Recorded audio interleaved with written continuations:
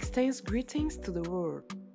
A country located in the heart of Africa, diverse in culture, language, and landscape, and bears the whole soul of the continent of Africa, Africa in miniature.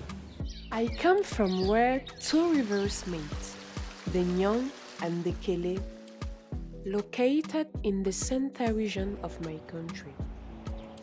My people are known for their dynamism, iconic figures in all fields. I study marketing and communication and hope to become a professional in this field later on.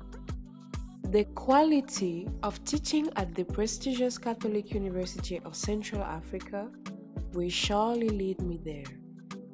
I have a passion for fashion, singing, and literature.